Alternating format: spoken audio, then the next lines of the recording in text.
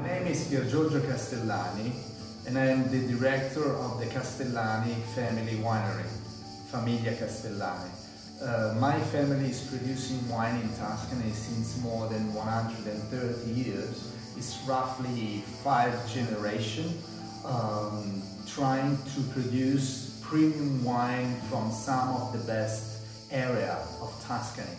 Tuscany is an extraordinary region for producing red wines, some of the best red wine of the world and the history of wine production come from this hilly, beautiful historical land.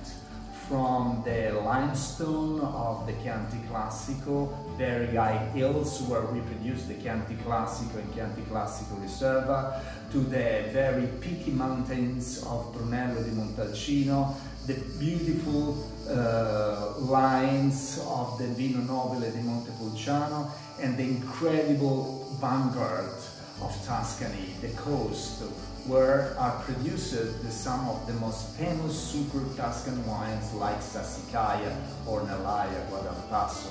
In this region we produce our Villa Puccini wines, two great classic, the Chianti Riserva and the Super Tuscan Red.